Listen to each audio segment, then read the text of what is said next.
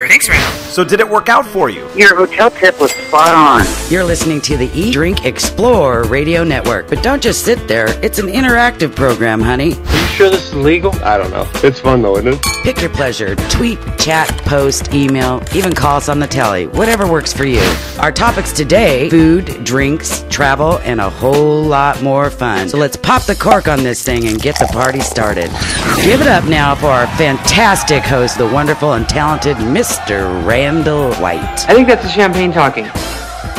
And a good morning, everyone. Great to have you starting your day right here on a Saturday with us, talking all things food, wine, craft beer, travel, tourism, uh, all in a healthy and sustainable manner. This is Eat, Drink, Explore Radio. Our goal to make sure at the end of all of this, you walk away with a little more information uh, so you can, you know, be more successful in your endeavors.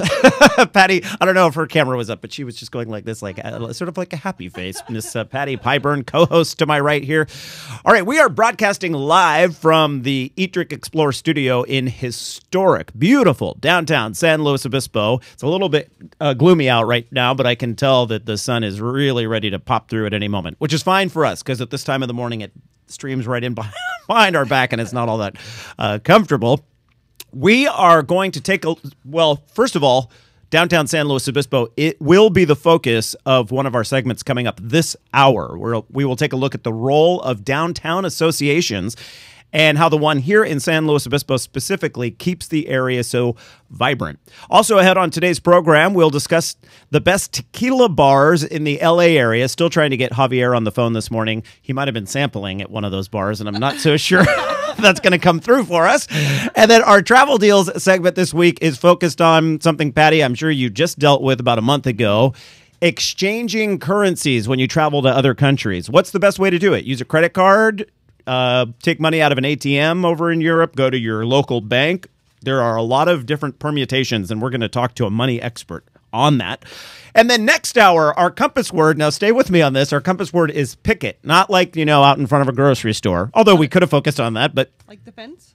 Uh, kind of like picket like the fence, but based on this one word, we will introduce you to the author of the movie Sideways, a very scenic and unique place to vacation for just 40 bucks a night, 360 degree view too. Wow. And some of the best bagels in the United States. And don't forget, you can catch Eat Drink Explore Radio on your Apple or Android device with our handy and free app. Lots of people enjoying the video simulcast that way. So hello to everyone right now who's watching us via their telephone or uh, you know tablet computer. And uh, if you haven't tried it yet, just search Eat Drink Explore in the App Store, and it is, we mentioned it already, free. All right, our sponsor this hour is Eberle Winery in Paso Robles, open daily from 10 until 6 o'clock. So you have a couple of hours before they. The, before those doors swing open and you can start your Saturday of tasting. uh, but give yourself plenty of time because the cave tours there voted among the best by Wine Spectator magazine. And uh, Eberle Winery is located on 46 East in Paso Robles. Keep in mind the Midstate Fair is in town right now. In fact, uh, one of our producers, Anthony, went and saw Earth, Wind, and Fire last night. And I'll tell you what, I. I have had the song September. You know that. Do you remember? I can't sing more than that, or we have to pay them a royalty. but uh, I have had that in my head all day because Anthony had an extra ticket, but I it would have kept me up way past my bedtime, so This I didn't not go. be a good scene. No, no, you don't want to see that. Trust me. I've done that before. Anyway, log on to eberlewinery.com, and that is E B E R L E winery.com. So if you're headed up to the Mid State Fair, make Eberle a part of your trip. All right, let's bring in the fabulous, beautiful, lovely Miss Patty Pyburn. More, and more, more. and so you you rode the London Eye. I did not. I watched my children do it. I, Are you afraid of heights? Well, not really, but I'm not a big fan of Ferris wheels because if I think about it too much, I'll freak myself out. There's a couple of things in life that happen that way for me. Roller coasters and Ferris wheels happen to be a a couple of them. You were working last night for uh, KCOY CBS 12. Mm-hmm. Did you get a chance to see any of the opening ceremonies of the Olympic Games in you London? know, uh, you have to love TiVo, right? Yeah. So I watched some of it when I got home last night. Oh. When I should have been sleeping. Right. But we won't talk about what time that was. No, but no, no. I love the Olympics. Yeah. I love it. It's fun, isn't Yeah, it? and it was so cool to see London after we had just been there. Right. And so that kind of brings it on home for you. Mm-hmm. Yeah. I'm excited about this uh, Ferris wheel. Well, it's a Ferris type wheel that is Yeah. going in uh, in Las Vegas. I contacted the people from Caesars Entertainment. Uh, they gave us the artist rendering that we showed during the Oh, news. So cool. Yes, and it uh, it will be, and it it is going to surpass all the other ones by a lot. You know, Vegas always has to do it by It's, it, everything that's going to get By a lot. better is going to get taller, bigger, larger, something. right. You know, I wish I had uh, been at a pub in London last night when those opening Oh, ceremonies were going on. And I'll tell you why. I was at a pub in London in 1994 when the World Cup was in the United States. Mm-hmm.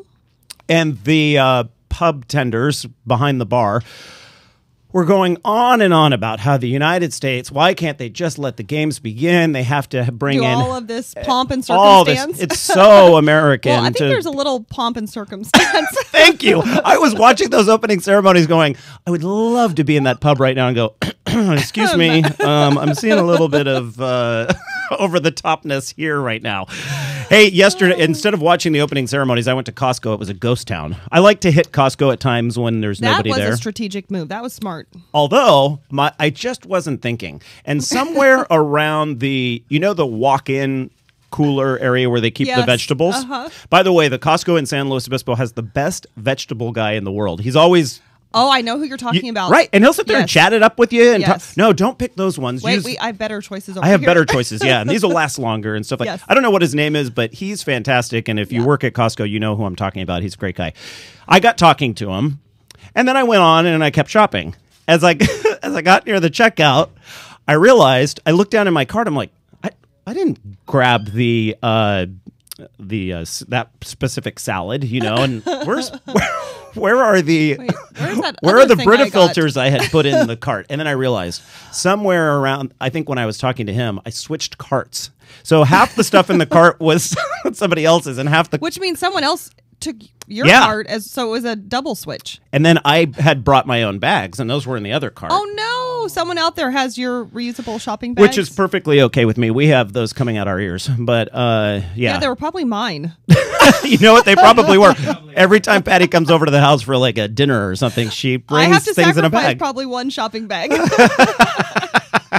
right so um yeah so somebody out there if you're listening and you happen to uh, have a have i forget it was a bank bag of some sort um that was mine. And uh, just have it keep it have at it. Oh my- I'm sorry, Randall, but that's really hilarious. And you know, this uh, gentleman approached my Prius and was going to get in, but I was sitting in the in the driver's seat, and then he got really flustered and apologized profusely. Yeah And then it's awkward He promised me that he owns a Prius and even showed it to me across the parking lot. I said, I know, I've done it before. I know. you do feel that need to like you know i wasn't trying to take your things Yeah. fortunately there wasn't like a purse in the cart or Right. you know and and i realized i had put my iphone in the cart at one point you know and then i realized i had it in my back pocket So, I that like, was good.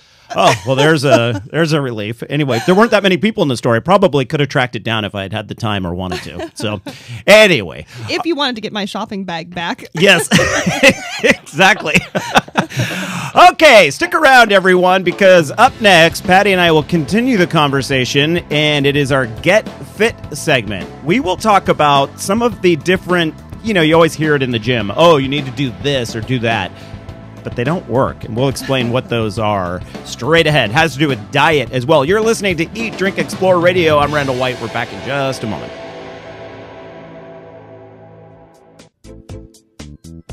The Eat, Drink, Explore radio show is currently in a local commercial break and will be back shortly. Did you know our weekly Saturday morning radio show also has a video simulcast on Ustream?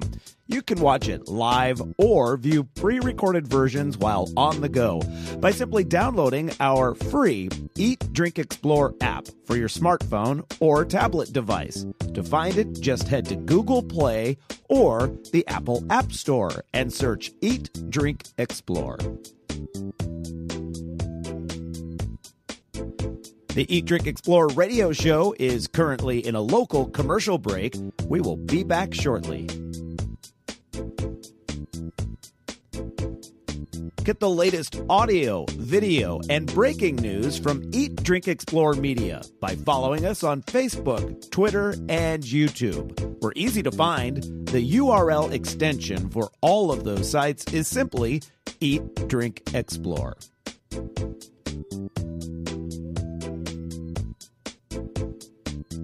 Thank you for your patience. The Eat, Drink, Explore radio show is currently in a local commercial break and will be back on the air shortly.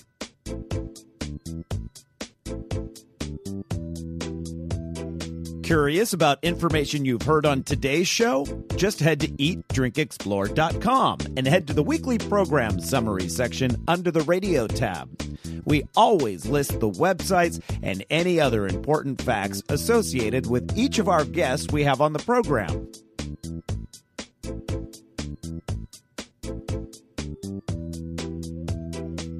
The Eat, Drink, Explore radio show is currently in a local commercial break and will be back on the air shortly.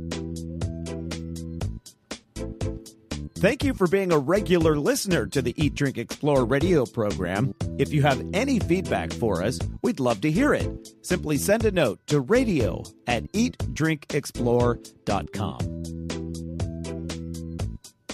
The Eat, Drink, Explore radio show is currently in a local commercial break. We will be back shortly.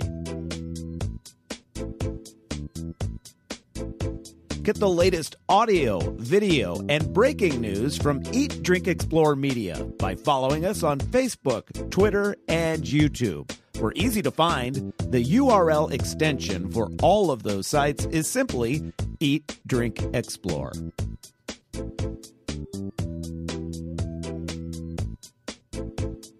Thank you for your patience. The Eat, Drink, Explore radio show is currently in a local commercial break and will be back on the air shortly.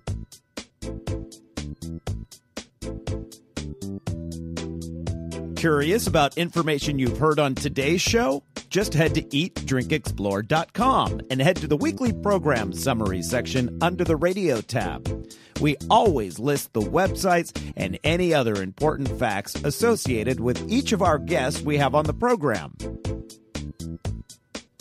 The Eat, Drink, Explore radio show is currently in a local commercial break and will be back shortly.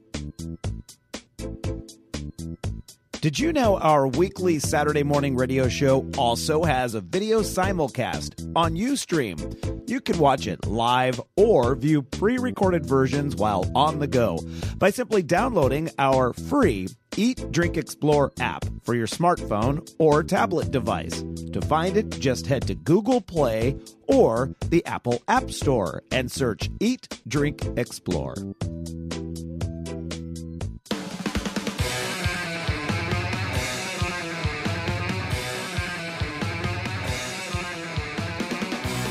And welcome back, everyone, to Eat, Drink, Explore Radio. I'm your host, Randall White, joined by my fantastic, terrific co host, Patty Pyburn. Does anyone wonder why I show up here every Saturday morning? Is that too bright? We can close the blinds It during just, the next segment. The sun just broke through. It just broke Yes. through our studios here. Uh, we're in the process of getting some gels that'll go over the windows to Woohoo. help with that. I'm okay. hoping. Very- nice. Very nice. right.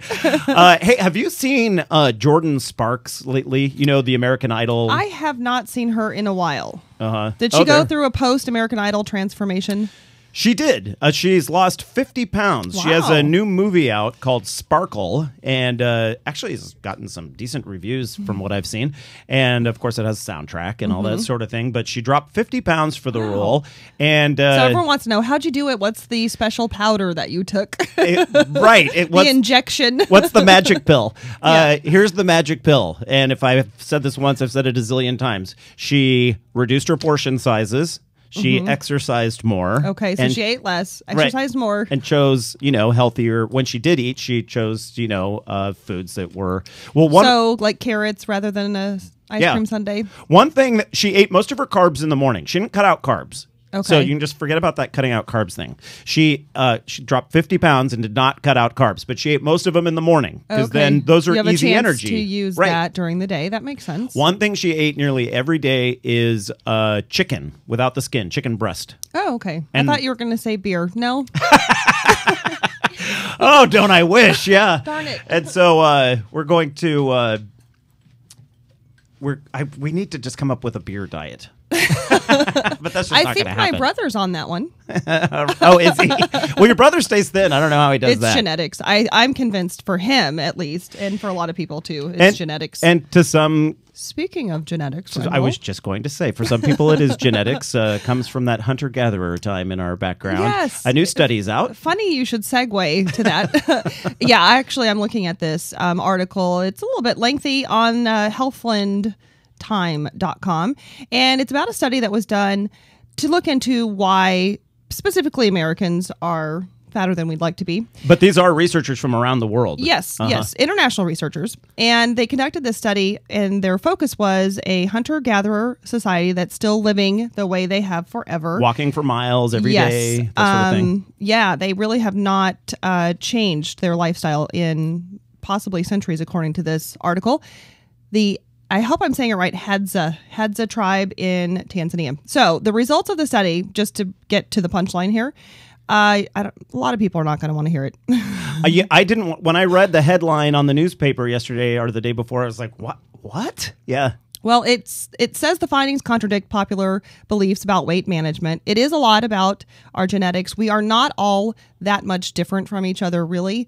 Um, they say we Americans who spend a lot of time sitting at a desk, sitting in a car, sitting on a couch, do not really have a different expenditure in, in energy during the day than a hunter gatherer of this society. What they said, the problem is, it's what we're eating. It's too packed with calories. It's what we're eating. They said the real difference is not the physical exertion, it's your choice of food.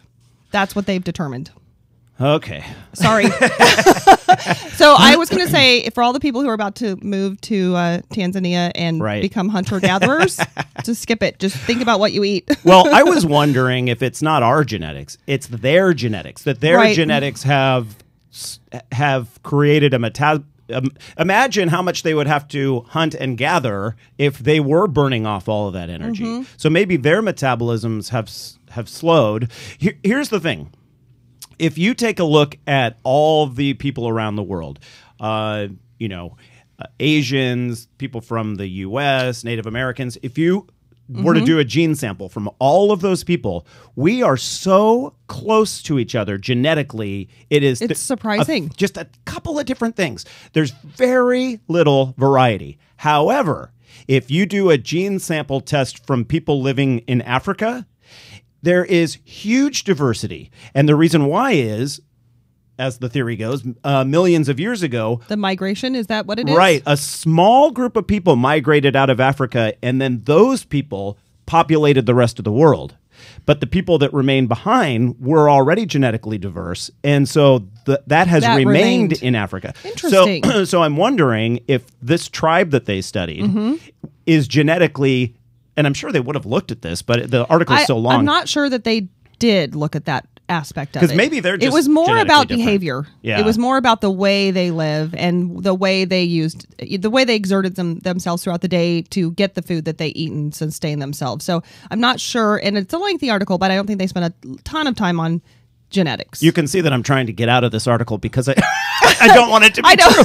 I, say it isn't so. say it isn't so. Not to mention, um, I've worked uh, lap swimming back into my daily routine. Oh, that's good. And as I'm lap swimming, I'm thinking that this is good for me. This allows me to eat more. You know, I can. Um, I can have a sun brownie sundae instead of Right. a carrot stick.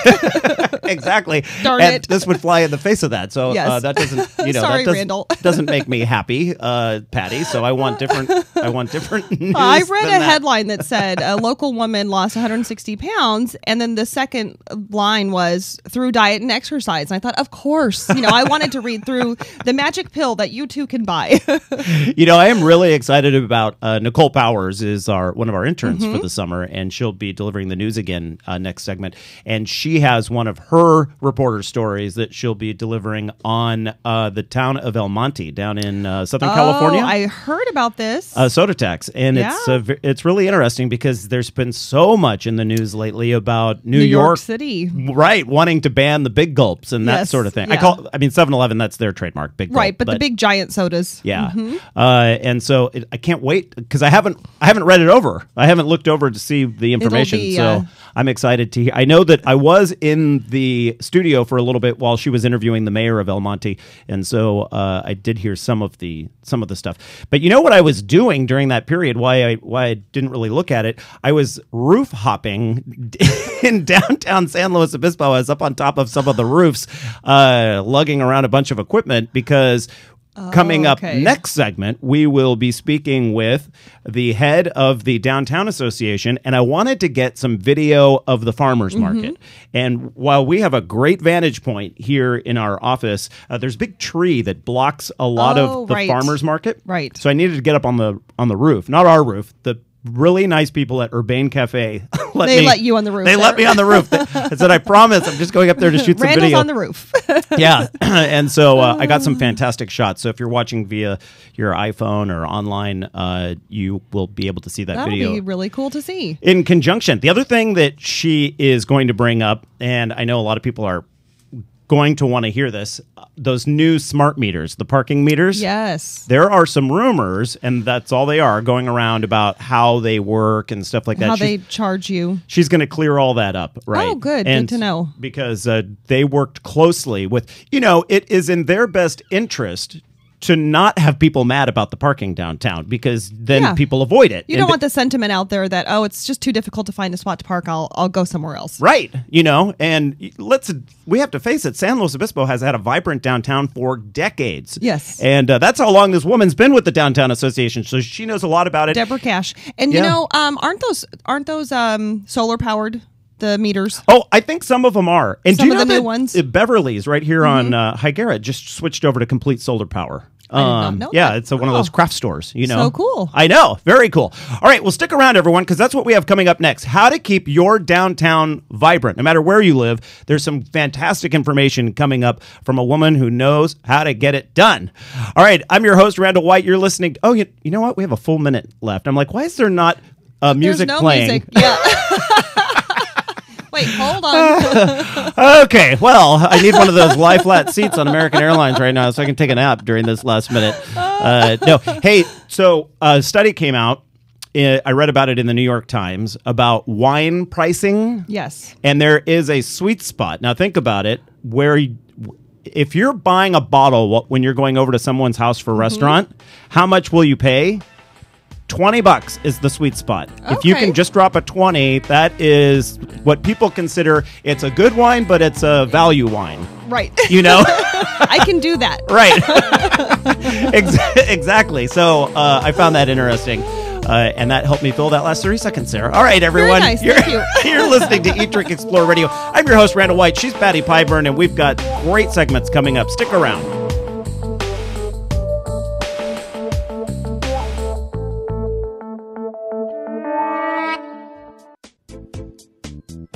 The Eat, Drink, Explore radio show is currently in a local commercial break and will be back shortly. Did you know our weekly Saturday morning radio show also has a video simulcast on Ustream?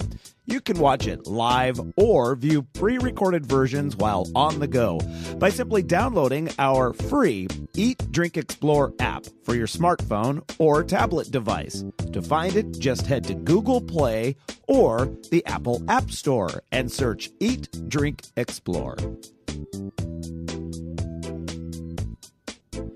The Eat, Drink, Explore radio show is currently in a local commercial break. We will be back shortly. Get the latest audio, video, and breaking news from Eat, Drink, Explore Media by following us on Facebook, Twitter, and YouTube. We're easy to find. The URL extension for all of those sites is simply Eat, Drink, Explore.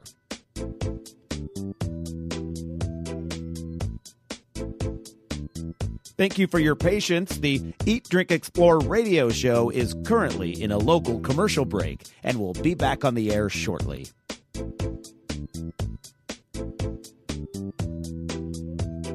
Curious about information you've heard on today's show? Just head to eatdrinkexplore.com and head to the weekly program summary section under the radio tab. We always list the websites and any other important facts associated with each of our guests we have on the program.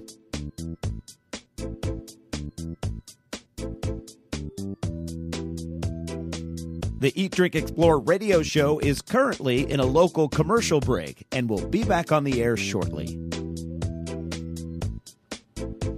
Thank you for being a regular listener to the Eat Drink Explore radio program. If you have any feedback for us, we'd love to hear it. Simply send a note to radio at eatdrinkexplore.com.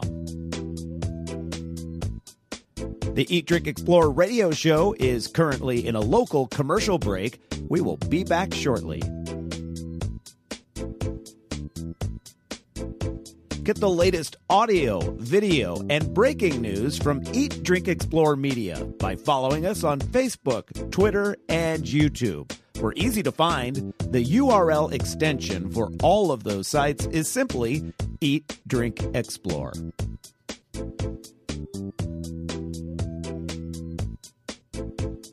Thank you for your patience. The Eat, Drink, Explore radio show is currently in a local commercial break and will be back on the air shortly.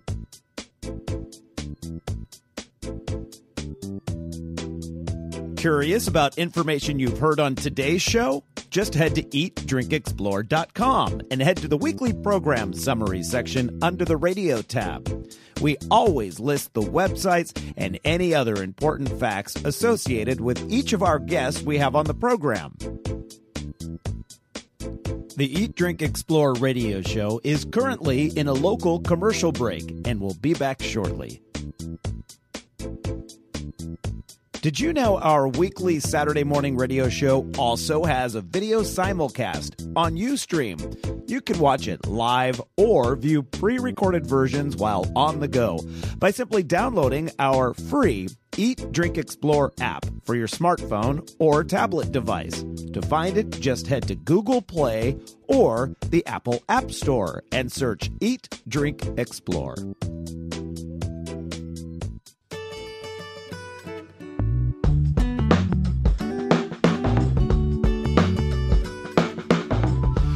And a very good Saturday morning to you as you get up and get your weekend started. Lots to do all over the country. We have that beautiful Mediterranean climate really like stuck in place this uh, summer for us here on the Central Coast, which is fantastic because I love the cool foggy nights and then it clears off right around now what are we at uh, 8.33 and uh, the sun's already coming out here in downtown san luis obispo we have a great climate for enjoying our downtowns year round, really. And uh, that includes eating outdoors and all that sort of thing. Somebody who knows how to keep a downtown very vibrant, she's been doing it for an incredibly long time, is Deborah Cash. And she is with the San Luis Obispo Downtown Association. I had a chance to meet her earlier this week because our business is located in the downtown assessment district. So they have a new business orientation that I've been trying to attend since November, and I finally hit it uh, this past Wednesday morning. And I learned a lot of information at that meeting, and I thought, you know what? I would love to talk to Deborah about some of the things that I learned there and about an upcoming event that uh, really showcases San Luis Obispo in a great way. So, welcome to the program, Deborah. Great to have you here. Thank you, Randall. Good morning. It is a beautiful morning. Isn't it? Yes. And there are plenty of places now in downtown San Luis Obispo where you can grab a breakfast bite outdoors, lunch outdoors, dinner outdoors. When I moved, I you know I went to school here in the late '80s, and we had outdoor dining then too. But uh, I moved around the country, and I realized they don't have as much outdoor dining in other parts of the country as we have here, and a lot of it has to do with the weather. Well, that and also. Uh, you know, there's policies in place that kind of make it difficult sometimes Mm-hmm. to build outdoor dining or to seat people on the sidewalks, but that's changing. And so that's why you're seeing more and more of it. And we're really behind that effort to capitalize on being able to be outdoors. I grew up in Hawaii and we ate outside all the time. Right. So, you know, I like doing that and you're seeing more and more of it.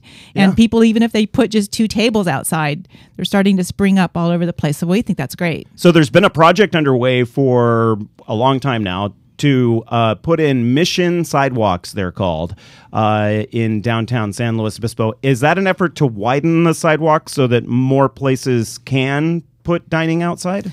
Not necessarily. It is a program underway where uh, the city encourages uh, businesses that do renovations around their, their property to do what's called mission style sidewalk. It's that kind of a reddish with the pits in it. Mm-hmm. Um, that's actually made by salt, pouring salt on the concrete. Oh, really? do that. It's really interesting, but um, not necessarily for widening. The widening comes in where uh, a business itself sees an opportunity to expand, and they actually approach the city for a permit to widen a sidewalk and and uh, pay a fee to do that. So right.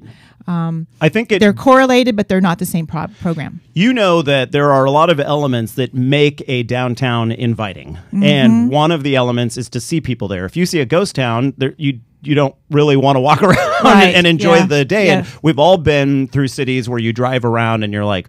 Where is everybody? You know, Right. and the town seems to be rolled up. You know, uh, if you see people eating outdoors on the sidewalks and people walking around, that gives it a sense of vibrancy uh, that movement, and, yeah. and movement Yeah. that then draws more people. It's that crowd mentality. Absolutely. And I think a really good example of that, one that we're trying to be more um, embracing of, is if you've ever been to the Gaslamp District in San Diego. Yeah, oh, yeah. Uh-huh. You know, I mean, people are all up and down both sides of the street. They're eating, they're sitting outside, they're going into the stores. The store- stores are open, open till 11 o'clock at night. Yeah. A lot of them. Um, and it's just very vibrant all night long. And so, you know, we just finished lighting the trees in uh, on a section of Higuera Street in an effort to kind of uh, kickstart that idea That of feeling. let's stay open later let's have people come down and, and hang out later and feel safe and comfortable and and just enjoy what we have here so I get that feeling downtown on and and San Luis Obispo is not the only town that does it. Uh, but on is it the first Friday of every month? There's an art art the- after dark Art right. After Dark. it's huge Boy, you can feel the difference. Right. The, the It's number of people walking around and having a good time. Now, what are the rules surrounding Art After Dark? Well, uh, that's an Arts uh, Bispo program, and that's the, the County Arts Council, and um, the galleries sign up to participate, and they just do in-store uh, activities for that evening, and everyone's listed on a guide, and so people can just go from gallery to gallery, or even businesses. It's not necessarily a gallery. There are salons, and there are regular just stores that have art inside that they want people to come in and see. Um, sometimes the artist is there. Sometimes they have food and drink. Um, but yeah, it is just the the energy. It's is- great. is incredible. And I remember when it started in the in probably 1998, I want to say, or 97. Uh, Josephine Crawford was um, an, a local artist that kind of launched that program, and it was a slow go. Yeah. You know, people don't remember that there were a lot of times where there weren't very many people, you know, doing it. And everything has to start But- somewhere, you know, and so you start but getting it it, has taken off and you know we are very supportive of that program and any type of activity in the downtown that brings people any type of promotion uh, we're supportive of Yeah, and if it's a warm evening, boy, uh, everybody's out. out, Yeah, yeah. it is. I love it. Make sure you have reservations wherever you're going to dinner. yeah i don't know if you were uh, downtown thursday night for the farmers market was. it was absolutely packed and there was a guy right down here on his cell phone and i was walking around taking pictures and i heard him talking to someone and he said dude you have to come down here dude you will not believe this you can't believe how many people are here it's so clean and so he was like i wanted to stop him and go can you just talk talking to my cell phone Right, exactly. I, i want to videotape this you I, well, you just did a very good job. Uh, of, in fact, we have video from Thursday night. I went onto the Oh, okay, rooftops here, and I got some video, and out our window, I shot some of the stuff as well.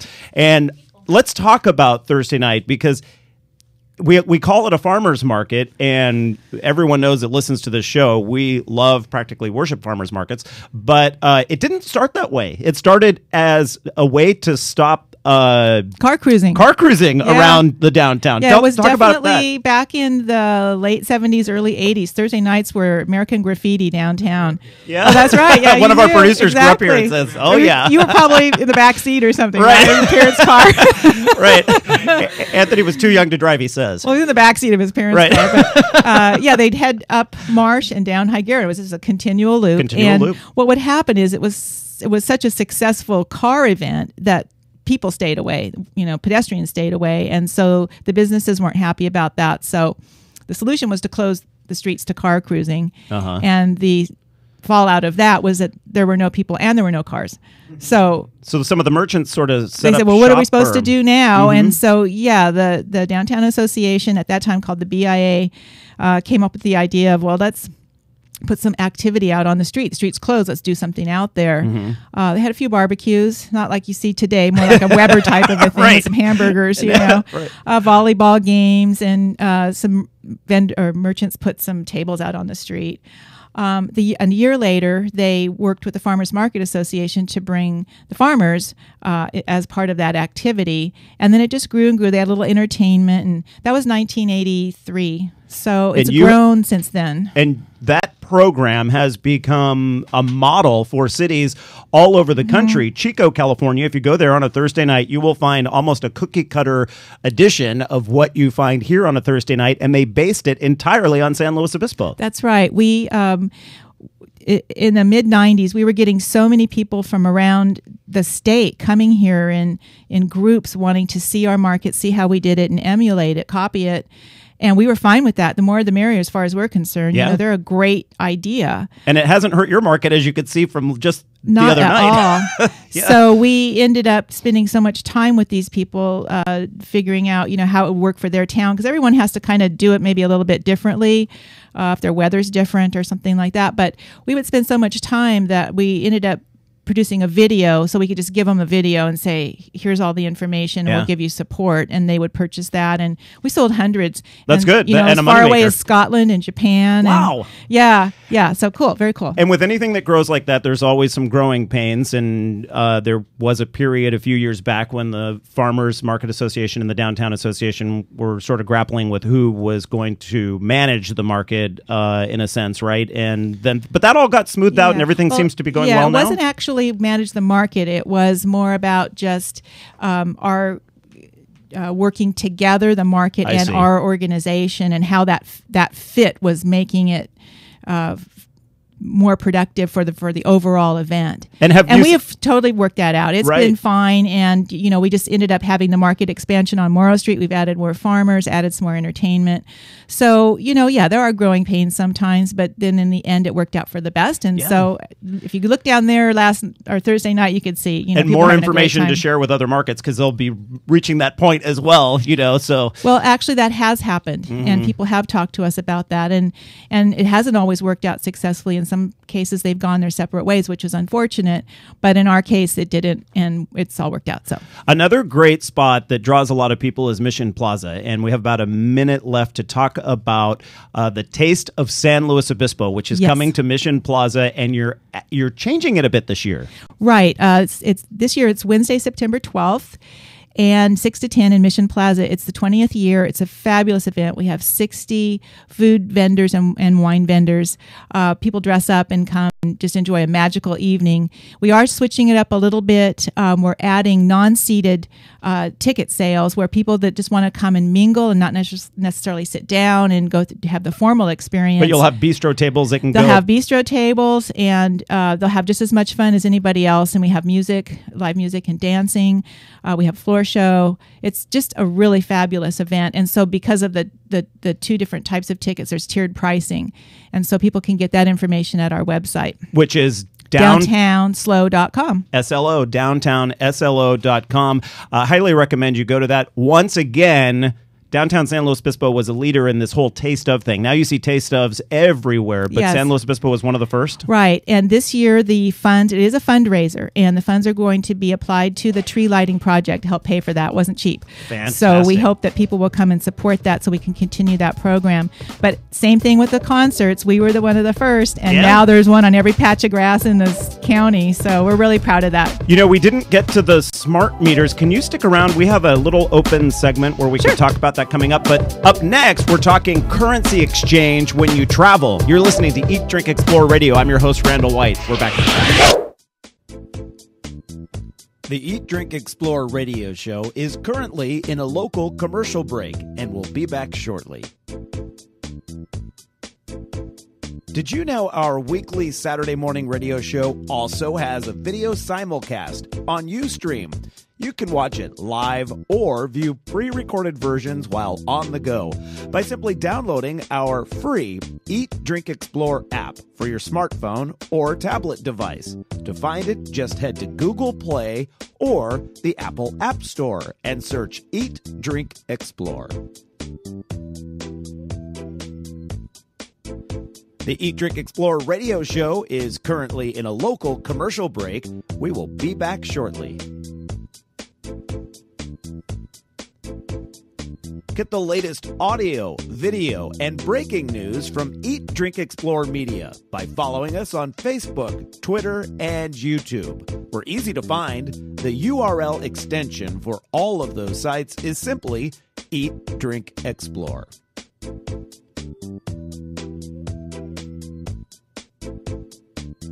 Thank you for your patience. The Eat, Drink, Explore radio show is currently in a local commercial break and will be back on the air shortly.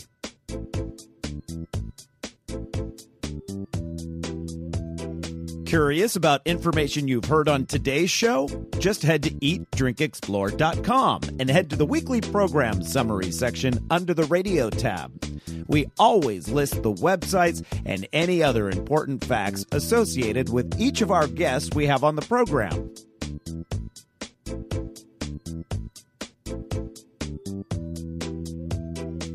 The Eat Drink Explore radio show is currently in a local commercial break and will be back on the air shortly. Thank you for being a regular listener to the Eat Drink Explore radio program. If you have any feedback for us, we'd love to hear it. Simply send a note to radio at eatdrinkexplore.com. The Eat Drink Explore radio show is currently in a local commercial break. We will be back shortly. Get the latest audio, video, and breaking news from Eat Drink Explore Media by following us on Facebook, Twitter, and YouTube. We're easy to find. The URL extension for all of those sites is simply Eat Drink Explore.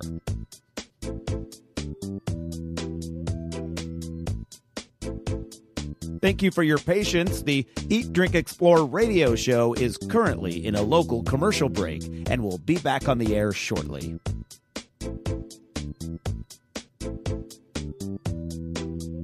Curious about information you've heard on today's show? Just head to eatdrinkexplore.com and head to the weekly program summary section under the radio tab. We always list the websites and any other important facts associated with each of our guests we have on the program. The Eat, Drink, Explore radio show is currently in a local commercial break and will be back shortly. Did you know our weekly Saturday morning radio show also has a video simulcast on Ustream? You can watch it live or view pre recorded versions while on the go by simply downloading our free Eat, Drink, Explore app for your smartphone or tablet device. To find it, just head to Google Play or the Apple App Store and search Eat, Drink, Explore.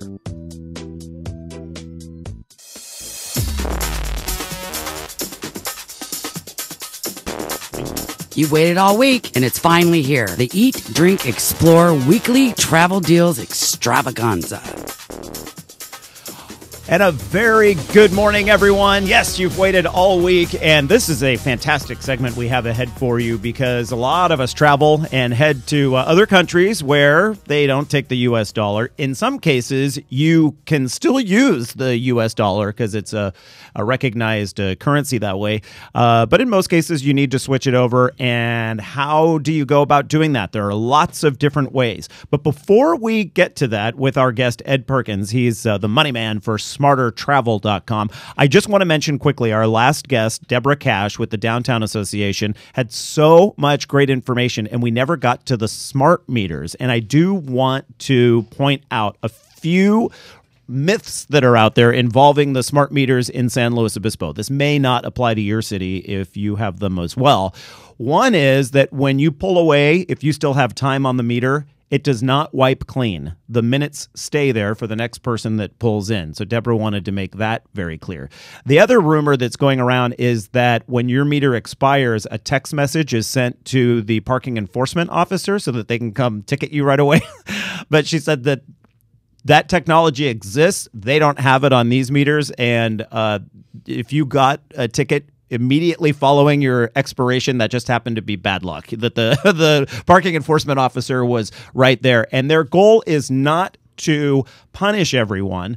Uh, that what they're just trying to do is keep a flow of cars in the downtown core. And if you think you need longer term parking to use either the garages or there are some 10 hour spaces and that sort of thing uh, so just don't park in a 30 minute zone or you know if you if you really need to stay longer than that amount of time.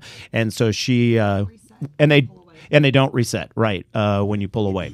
So now I do want to bring Patty Pyburn in on this segment because uh, she just got back from Europe where she had to exchange a lot of money. I'm headed down to Mexico, so I've got some questions of my own. Ed Perkins joins us right now. He is the man that knows all about currency exchange and is with smartertravel.com. Great website if you've never checked it out. Welcome to the show, Ed. It's nice to be with you. Oh, thank you so much. I saw a piece in the Sacramento Bee on this topic, and you were one of the quoted people. And I thought, well, we need to get Ed on the show to talk about this. Uh, the last time I went to Europe, and I'm not sure how you went about it, Patty. Uh, I went to a bank machine at a at a local bank in Europe and just pulled out money like I would at an ATM here, and I was told that that that and then using my credit card was the best way to get uh, was is how you would get the best rate on exchanges. Would you say that that's true? Yes, I would definitely. Oh, good. Well, then I got a good rate. but there, there are, however, differences from bank to bank, so you have to be aware of that. And these would be charges just like if you used a bank that wasn't your bank here in the United States, you get slapped with some fees. Exactly. Plus, in some cases, a conversion fee. Oh, okay. To to actually convert the money. So then, it seems so funny that it costs you money to exchange money. But uh, I guess you know people have to make money somehow, right? yeah, and even if you get a bank that's uh, has a fairly high uh, charge, uh, you're still better off using plastic than you are going up to a foreign exchange office. Really? So, Patty, when you were over in Europe, did you charge a lot? Well, there was an instance where I couldn't get money out of an ATM, and I did go to one of those exchange offices. And Ed, I think you're right because I had to pay their transaction fee plus the rate the money was going for, and all that ended up being more expensive money. Um, with my particular bank, and I learned the hard way, they just have a five dollar ATM fee for pulling out money. So you should do it so that was a lot better, of it at once. The better way was to go to the ATM and yeah. It, do you agree, Ed? Taking out a larger amount at one time makes that more cost effective. For most banks, yes. Uh, yes, some banks uh, charge a percentage rather than a flat fee, but for most, in most cases, they charge a flat fee, and a lot of banks don't even charge a flat fee un- under some circumstances. For example, uh, a lot of smaller banks and um, savings institutions and so on. Credit unions. Credit unions uh, do not uh, surcharge foreign exchange.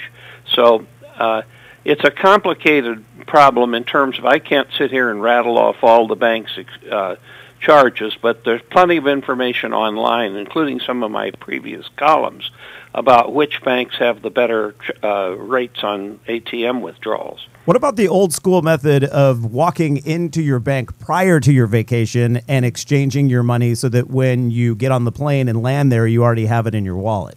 That's not. Uh, you, you, can do that, and but you're going to pay a, be- a worse exchange rate than if you waited till you get to your arrival airport and use an ATM. Wow. And most big international airports now, I can't say all, but most big international airports have ATMs and both Visa and MasterCard have online locators to tell you exactly where in the airport each ATM is located.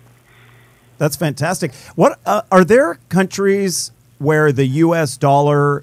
I, I would assume. I know I've seen it happen in Mexico. I assume to some degree on border cities in Canada. Are there other countries that accept the U.S. dollar and you don't need to even exchange your money?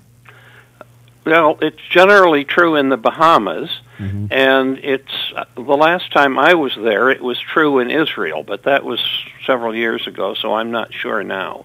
I know in Mexico they basically they simplified in their favor Yes. the um, the exchange rate to uh, uh, what is, what was it ten percent or like like for instance if uh, if it said it was a thousand pesos. Uh, then they charged you a hundred dollars or ten dollars. I can't remember, but they just they made it as they simplified it when in reality uh, it should have been more like eight dollars or nine twenty five or something. You know, so yeah, They got the extra. they got the extra. right, yeah, well, that that's right. Uh, and this is another it brings up another issue, which is when you're traveling, say in Europe, a restaurant or a merchant may offer to make out the charge in dollars, so quote, you know what it is. right. But the fact is, you're going to pay a double penalty that way because the merchant will give you a lousy exchange rate uh, on the write up to dollars, and then your bank will charge you the foreign surcharge anyhow. Ouch. You know, Ed, you were mentioning um, about using the ATM versus going into your bank ahead of the time. I thought I was being so prepared, and I did go into my bank before my trip, and I was told that I could get the uh, foreign money, the pounds and the euros I needed, had I planned a week in advance, and the bank would have ordered them for me. So that little excursion to the bank a few days before my trip, and I thought I'm going to be ready. Didn't really work. Well, Yeah, but it some, did- it some banks, and in, in particularly in a big international city like New York or San Francisco and so on, uh, some retail bank offices will have foreign currency on hand. But uh, in other cases, uh, a typical branch bank uh, may not have any foreign currency in its drawers. So yes, you have to give them uh, an advance notice, but you really don't need to do that. You're just as well off waiting till you arrive and using an ATM at the airport. Does anyone still do traveler's checks? Right. Not to my knowledge. In fact, um, I was in Europe a few months back, and I took over some traveler's checks that had been in a drawer someplace for several years. And I thought, what the heck? I'm going to go change these.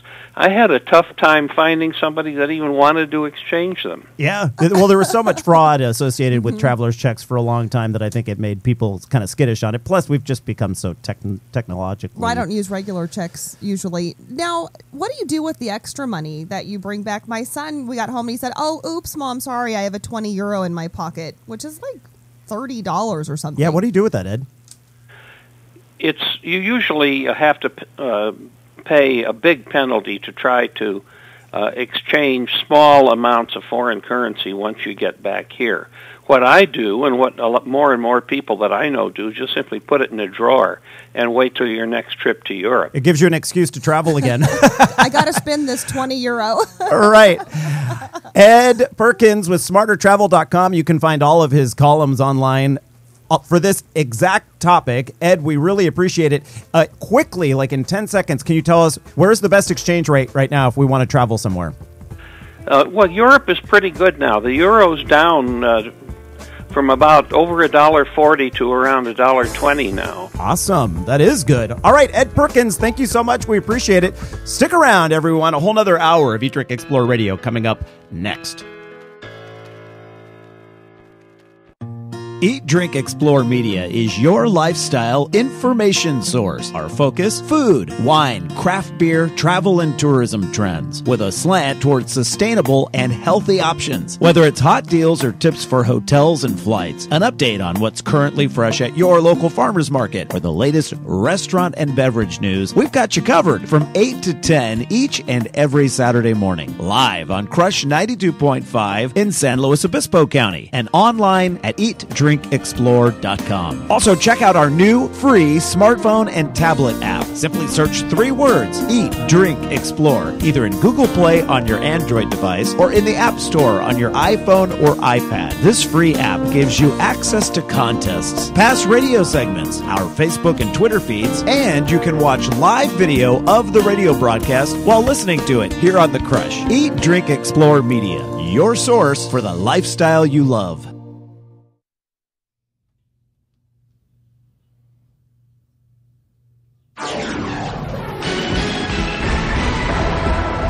It's the top of the hour and time once again for the latest from the Eat, Drink, Explore news desk. Good morning, all you eat, drink explorers out there. I'm Patty Pyburn. We are looking at what's making news on this glorious Saturday morning. Glorious if you're in California, I suppose. Other parts of the country maybe not faring as well in the weather department, but we'll get to that a little bit later. Okay, travelers, U.S. Airways prices are soaring. The airline hit its highest quarterly profit in company history, announcing it more than tripled last year's profits at $306 million. U.S. Airways is moving now to merge with the bankrupt American Airlines that uh, just announced, if you were listening, especially at the top of the uh, 8 o'clock hour, just announced the production of a new luxury fleet of jetliners, allowing you to recline all the way while traveling. A new study shows fluoride in drinking water affects your brain. Harvard researchers reviewed tests on fluoride and brain development and concluded that consumption of fluoride does have negative effects on children's cognitive development, especially their IQ. The study measured the average IQ of children who live in places with high fluoride levels in drinking water compared those to children living in places with low levels, and it shows the kids in the high fluoride areas had significantly lower IQs than those in the low fluoride areas. And the researchers say more study is needed in this area to look at the long term effects of this chemical tooth decay deterrent. Peet's Coffee and Tea has a new owner. It's sold on Monday, going for nearly, and this is a bargain, nearly a billion dollars to a private German holding company that owns other well known brands such as Jimmy Choo. The fast food restaurant Chick fil A has taken a strong stance against same sex marriage, and the controversy sparked a huge response across the nation. Same sex couples are planning a kiss in on August 3rd, and some political leaders, like Boston Mayor Thomas Menino, are also taking their own stance, saying, Not in our city. Chick fil A has been considering opening in multiple locations in the Boston area, but Mayor Menino says, No way. And that is because of the chain's stance on same sex marriage. All right, we are checking in with Miss Nicole Powers on this Saturday morning. And you, Nicole, this is an interesting story. I saw this yesterday. This proposed soda tax right here in a California city. Yeah, thanks, Patty. Uh, the citizens of El Monte, California will be voting on this proposed soda tax in November. And the tax would be placed upon businesses who would then be likely to put higher prices on the consumers. And this is what the mayor had to say. Let's see. Oops. We didn't have our news sound open quite yet. Oh. I don't think it's. Do we have a technical difficulty Looks like it's here? Not in here, unfortunately. So uh, the mayor Bummer. had a response to. He did. You, in in the soundbite, he said that um, fifty percent of young people in their city are obese, and so this is especially important for health reasons, um, and also to bring in revenue for the city. Um, he said that the revenue from the tax could be used for running their aquatic center, which costs about six hundred thousand dollars a year to run. He said it's a state of the art center, so this is something that's important to them. They've also thought about buying exercise equipment. There's not any mainstream gyms in the area, so that would be something that they could look into. Also, the tax could be u- the revenue could be used for paving unsafe roads so that kids could walk safely to school. Um, he also mentioned last year in El Monte they banned soda and sugary drinks in their recreation and parks facilities. So this is an ongoing effort of the city and the people of El Monte to make healthier lifestyle choices. And he also said the tax is a general tax, so it wouldn't be marked necessarily for health reasons, but they will be using it in those ways, and the citizens will have a chance to vote on where they use it. All right, interesting. We'll have to watch and see what happens there with that sugar tax. You know, New York City has been out in front on some of these food issues. You know, they pushed for uh, healthier choices in oil for restaurants that do fried foods. Mm-hmm. Recently, there was the uh, soda controversy in New York City Right, where New York. The mayor was pushing for um, limiting sizes, portion control. Um, maybe a, a tax is a, a different approach. Rather than saying you can't buy a supersize, you can just pay a little tax Right, into right. uh, maybe offsetting some of the uh, results of too much sugar in your diet. All right, we're going to take a quick look at the weather. Nicole, thank you for that. and if you are lucky enough to be here in California, you're probably enjoying a beautiful day, but we've got some heat expected across the southern and central plains and much of the mid portion of the country. We're back with more from Randall. Eat, Drink, Explore Media is your lifestyle information source. Our focus food, wine, craft beer, travel, and tourism trends, with a slant towards sustainable and healthy options. Whether it's hot deals or tips for hotels and flights, an update on what's currently fresh at your local farmers market, or the latest restaurant and beverage news, we've got you covered from 8 to 10 each and every Saturday morning. Live on Crush 92.5 in San Luis Obispo County and online at eatdrinkexplore.com. Also, check out our new free smartphone and tablet app. Simply search three words Eat, Drink, Explore, either in Google Play on your Android device or in the App Store on your iPhone or iPad. This free app gives you access to contests, past radio segments, our Facebook and Twitter feeds, and you can watch live video of the radio broadcast while listening to it here on The Crush. Eat, Drink, Explore Media, your source for the lifestyle you love. Delicious, nutritious, and fabulously fun. Is this real life? Best of all, your comments. That was real money saver. Thanks, Randall. So, did it work out for you? Your hotel tip was spot on. You're listening to the Eat, Drink, Explore Radio Network. But don't just sit there. It's an interactive program, honey. Are you sure this is legal? I don't know. It's fun though, isn't it? Pick your pleasure. Tweet, chat, post, email, even call us on the telly. Whatever works for you. Our topics today food, drinks, travel, and a whole lot more fun. So let's pop the cork on this thing and get the party started. Give it up now for our fantastic host, the wonderful and talented Mr. Randall White. I think that's the champagne talking. And a very good morning, everyone. Glad you can join us here for the second hour of Eat, Drink, Explore Radio. I'm your host, Randall White, and we are coming to you live from downtown San Luis Obispo, right in the heart of all the action, right above the Peet's Coffee. That if you were listening to the uh, news just recently, uh, Patty, there was if you were watching us uh, with your you know iPad or whatever, uh, there was a picture we showed, and that Peet's Coffee is directly below us. Right below us, we smell yummy, fresh brewed coffee all the time. Now, you know what's interesting, I think, about that story is the founders of Peet's Coffee started up in the Bay Area, Berkeley. They trained the people who started Starbucks. so has been around longer than Starbucks, and uh, That's interesting. not as large as Starbucks, but here in California, you see quite a few Peet's. yes, you do. Yeah, you do And I sure. think they just uh, they've expanded recently, and now being bought by this German company. Maybe a billion bucks is not a small price tag, so that's No. quite a larger company than you might suspect. Yeah, I love my Peet's coffee. I have to admit. In fact, I loved my to- coffee this morning. Thank you, Anthony. Right, thank you, Anthony. Not to be a commercial for they're directly below us. I mean, it's uh, it's A no-brainer. right. Okay, so uh, this hour of the show is dictated by something we call a compass word. The second hour is always the compass word hour. It's essentially a word that inspires us to find things we might not otherwise look for. Right. So uh, this week the word is picket. Picket. Okay. Yeah. P I C K E T T. Okay. And we're going to look into the etymology of the word picket uh, in just a moment. and I can't wait. right, but based on that one word, uh, we are we. These are the different things that we've found for this hour. We are taking you to a scenic, remote, unique place with a 360 degree, beautiful view, and it's just forty dollars a night. Wow. Yeah. So Can't we'll- wait to hear where that is. Exactly.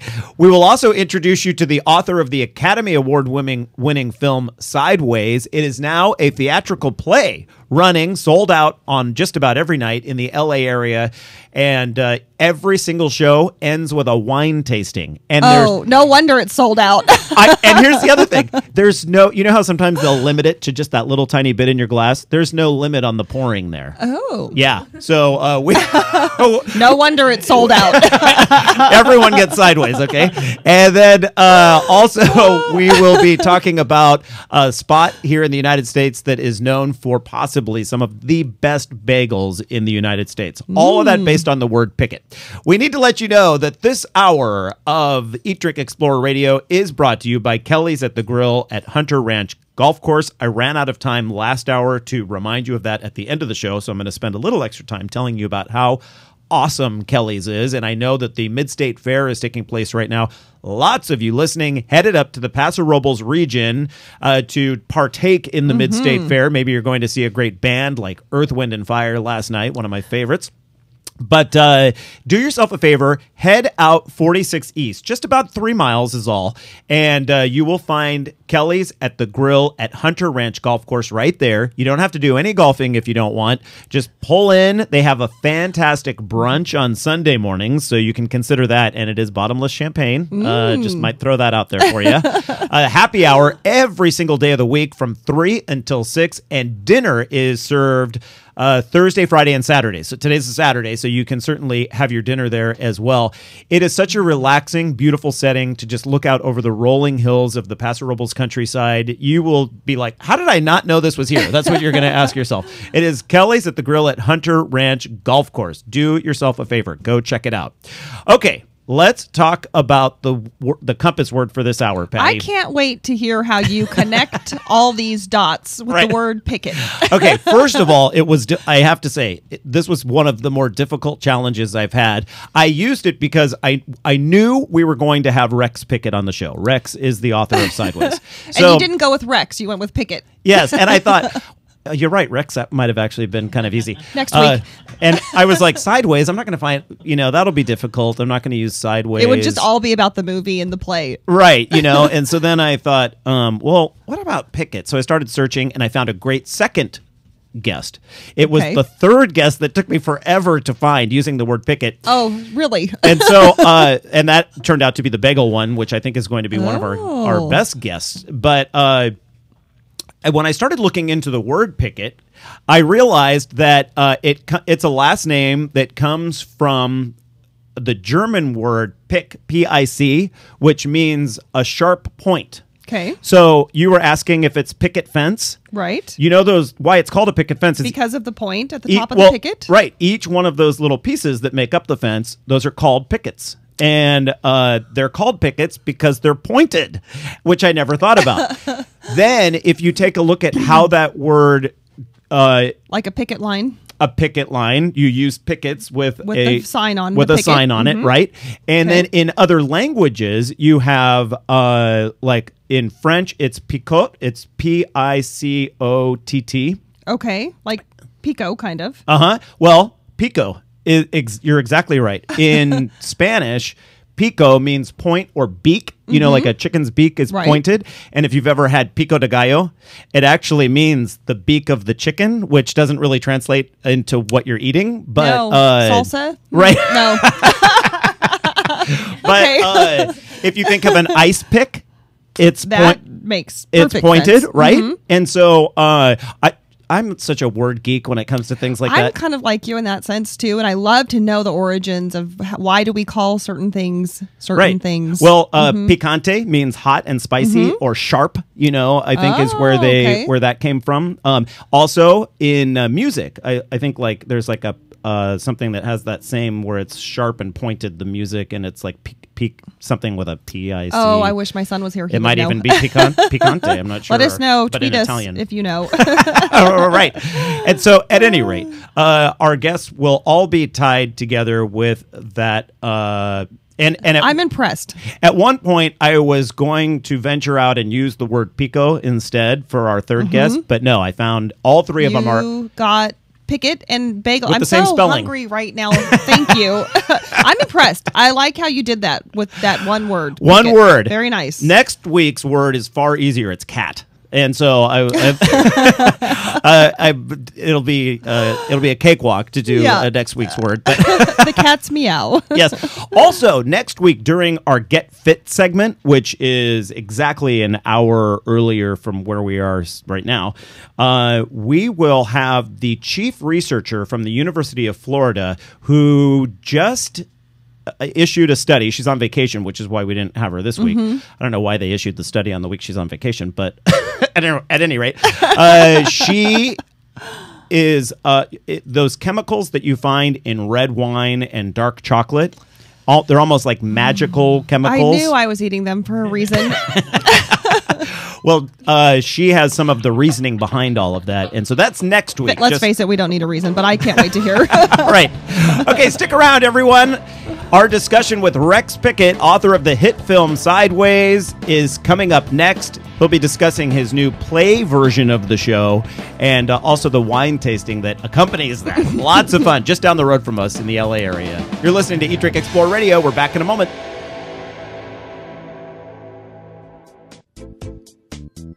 The Eat, Drink, Explore radio show is currently in a local commercial break and will be back shortly.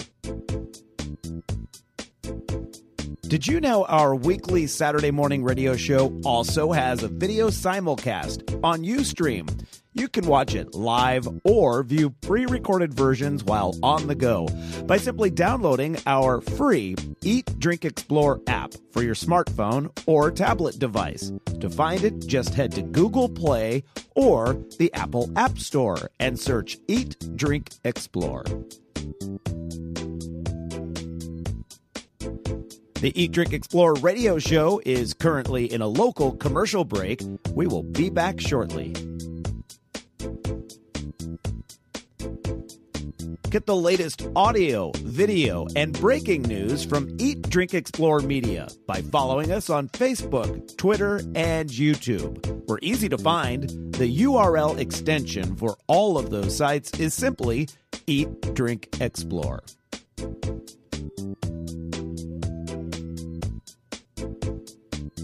Thank you for your patience. The Eat, Drink, Explore radio show is currently in a local commercial break and will be back on the air shortly.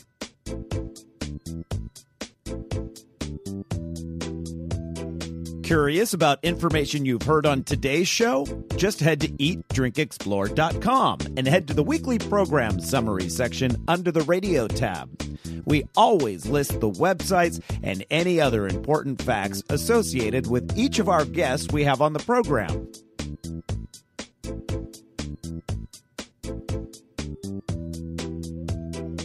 The Eat, Drink, Explore radio show is currently in a local commercial break and will be back on the air shortly.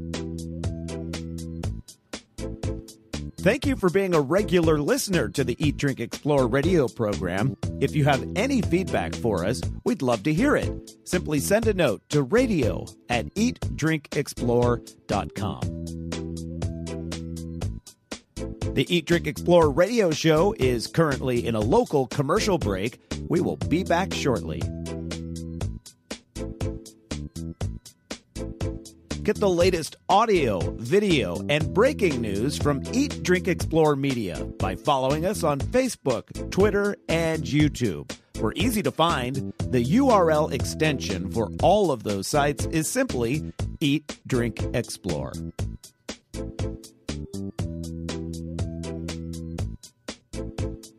Thank you for your patience. The Eat, Drink, Explore radio show is currently in a local commercial break and will be back on the air shortly.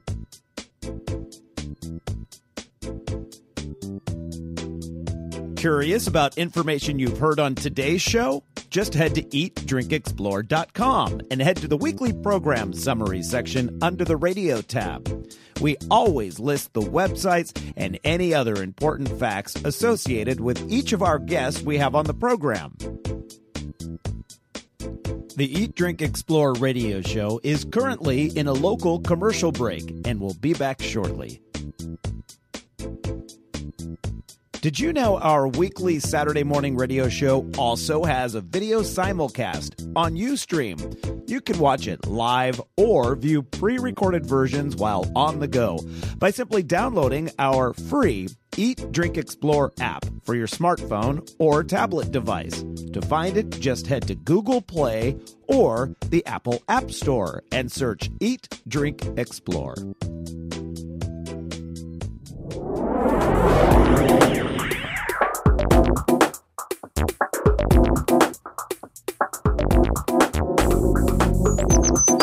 And a very, very good Saturday morning, everyone, as we broadcast the Eat, Drink, Explore radio show to you live from downtown San Luis Obispo. Another beautiful day out there. The sun is shining and lots of wine tasting to be had along the Central Coast, I'm sure. Uh, there will be people heading to wineries in Santa Barbara County asking Mm-hmm. for Pinot uh, wine and not Merlot. No Merlot.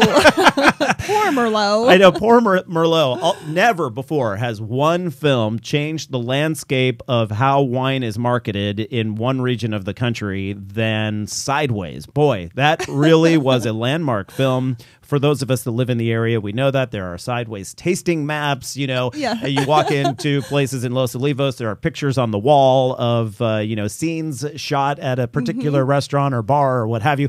And uh, yeah, Sideways. It it was a huge film, and now it is a huge play that is uh, perf- that is still running right now through mid August, and the shows have been sold out, which is exciting. We have on the line with us right now Rex Pickett. He's the author of Sideways, and he is venturing into an area he had not done before, which is plays. Welcome to the program, Rex. Thanks for having me. I mean, you must be so excited that the show keeps selling out. Well, it's great. I mean, with no advertising, it's a small theater. It only holds 55 people, although the stage is actually larger than you think, and it's a very reputable theater. And um, it's uh, you know, it's been a, we're in our 12th sold out week. Um, I was up there last night. You know, I was pouring wine last night. We that's the, it's one of the best kept secrets in LA because we we pour high end Pinot Noir and some other wines too um, from a different winemaker or winery every performance for free in proper Riedel stemware. I don't think it's ever been done in theater ever, anytime, anywhere in the history of theater. And how often do you have the author there pouring the Right. wine? That's definitely. I actually really enjoy it. It's in my neighborhood. I, I live in Santa Monica, so it's only it's right by the Santa Monica Airport. It's the Ruskin Group Theater, right by the Santa Monica Airport, and it's just a real joy. I mean, the play's a hit. It's a, people come out loving it, and, and I enjoy pouring before, and we also pour at intermission. And you know, we can't allow the beautiful stemware into the theater course because if one breaks, it's going to destroy the whole play. But so we, but we allow you in plastic cups to take it in, and it's just a real joy to see the people. And we're going to go much bigger. We're going to go the next. Um, uh, we're already in talks with uh, a 700 acre vineyard property in Sonoma, overlooking the Russian River by Santa Rosa, and we're going to build a 250 seat theater inside a barrel room. Wow. Really? Wh- which uh, property is that? Can I you say? I, I can't disclose it. I mean, we're, we're leaving. We're leaving a week from today, and it's it's actually only about five miles from east of Santa Rosa, but it's in the Russian River, and which makes it kind of accessible to a lot of people. And, Yes. You know, people say, "Well, why don't you go to San Ynez or Central Coast?" And the problem is, is we would be dependent on that Southern California traffic to come up there because the rest of the time it's um, they probably wouldn't support a 250 seat theater, you know, four or five nights a week. I could be wrong, but Sonoma is huge with the two international airports and the and the huge city in the Bay Area. So it's a natural, but the people in Central Coast can come down and see it. We're extended through August 12th, but you know, hush hush, it's probably going to get extended because we're not going to be able to do Sonoma until late March, early April. January and February are dead, and we need the PR lead time. So they'll keep they'll keep running it here as long. They don't announce extensions usually until you know a couple weeks before. I wouldn't count on it, but you know it it's it really is one of the best kept secrets. But it, the event part of it, you know, wouldn't work if the theatrical part didn't, and it really delivers on another level. And the critics have been you know raving about it, and there's only so many look, there's only so many times you can see the DVD. You know, come see it. right. Now, Rex, it sounds like such an intimate setting. You said only about 55 people in the audience, and you're there pouring wine. So it, that that's such a huge part of the experience. With this Sonoma venue, are you going to continue the the wine pouring aspect? Well, I don't know. I mean, to me, with with this play, everything every day has been a different day, and every day I'm I'm you know faced with new decisions and challenges. I mean, it just it just so happened this week we we had the, the woman who was handling all the wines. Um, we we she didn't really realize about the extension, so it kind of came through last moment. She sent us a bunch of wines, and so I'm I was kind of left to pour. Usually, the winemakers almost always come down and pour for free. That we don't charge anybody. It's it's you could come there on some nights. Well, one night we were pouring Gary Farrell's Elysian Pinot Noir and Chardonnay. You could have come there and drank at least a glass, maybe more, and gone home and not seen the play and broken even on the twenty five dollars. I mean, I'm not joking. It's but, but people are loving the play because the play is a. Um, yeah, I mean, for Sonoma, I mean, I'll get up there and do PR, but no, I won't be pouring every night. That's just not that can't happen. And there could come a point because the play is a lot bigger than I thought, and there's some things that are in the works that I can't talk about. But this play could ostensibly a year from now could be playing in New York Berlin, London, London for sure. You know, they've been requesting it big time. Um, you know, and, and, and a lot of it has been Twitter. I got on Twitter about 10 months ago and I really exploded, and a lot of things have come about as a result of that. That's and, how I found you.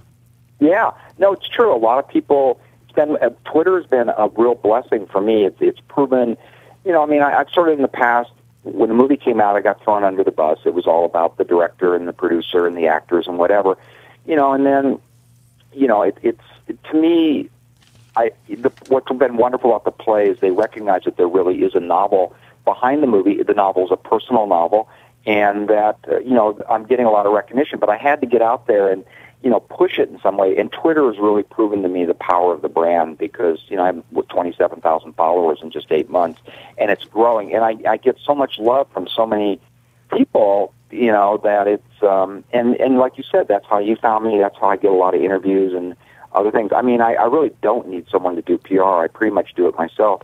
And so, you know, we're just, it just, it's a real joy. It's one of the most rewarding creative joys of my life. I mean, if the play had been a bomb, maybe, you know, I wouldn't be saying that, but it's just a real big, right. it's just wonderful to see everyone out there, you know, 30 minutes before the play with a beautiful Pinot Noir glass sipping high-end wine. I love it. We're speaking yeah. with Rex Pickett. He's the author of the novel Sideways. I'm curious, Rex, how similar is the play to the movie?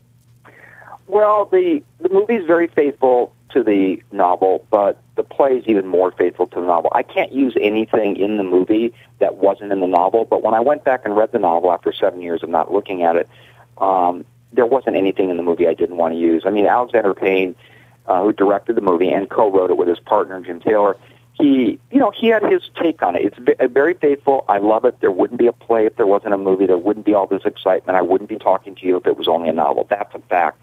Know, so I, I want to give credit where credit is due. But he definitely saw the characters as more pathetic than I did. In fact, he even told me that when I first met him. He said, "You know, Rex, what I loved about your novel so much, your characters are so effing pathetic." He, he said it just like that. I thought, "My God, you're talking about me." You know?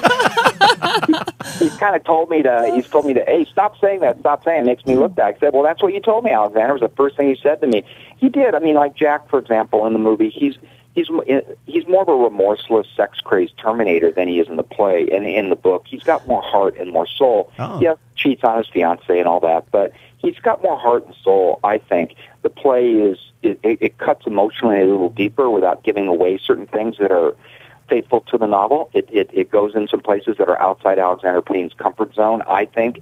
Um, you know, it's the, the ending is is more closer is is is is the ending of the novel, which is more redemptive than the knock on the door ending. And and again, don't get me wrong, I love the movie. It's a fantastic movie. It's done a lot for me. But the play cuts deeper into my novel, and it's it's more searching and it's more emotional, and it's really raucously funny. I mean, it you know, it, here's the other difference too. In the movie, Paul Giamatti is Miles.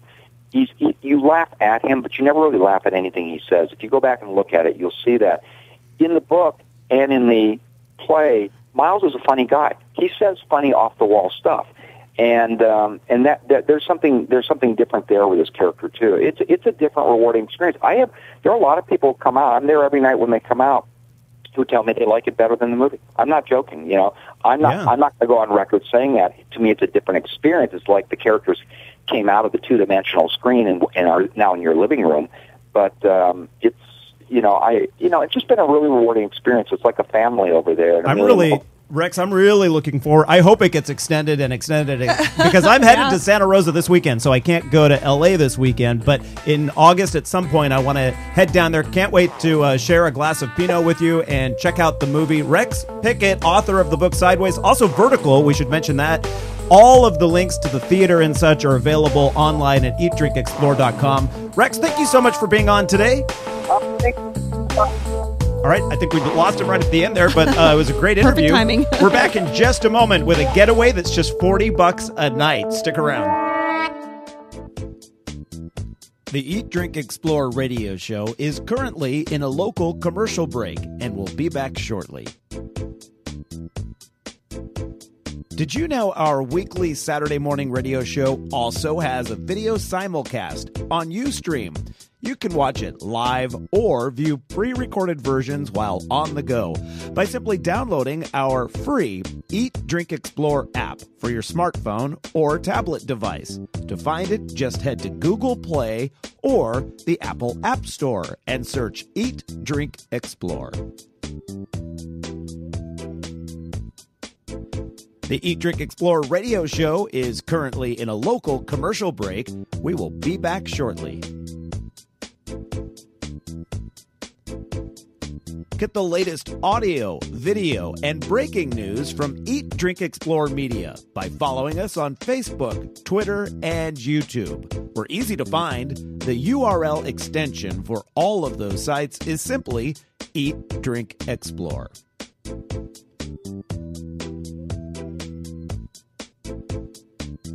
Thank you for your patience. The Eat, Drink, Explore radio show is currently in a local commercial break and will be back on the air shortly.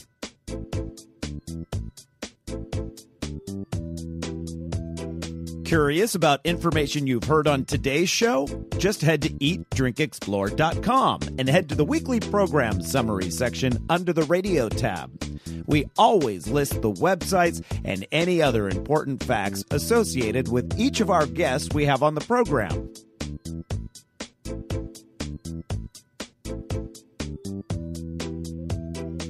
The Eat Drink Explore radio show is currently in a local commercial break and will be back on the air shortly. Thank you for being a regular listener to the Eat Drink Explore radio program. If you have any feedback for us, we'd love to hear it. Simply send a note to radio at eatdrinkexplore.com. The Eat Drink Explore radio show is currently in a local commercial break. We will be back shortly.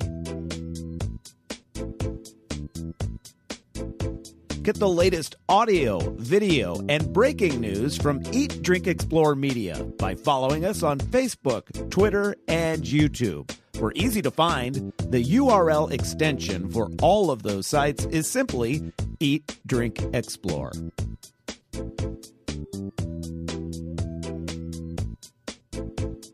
Thank you for your patience. The Eat, Drink, Explore radio show is currently in a local commercial break and will be back on the air shortly.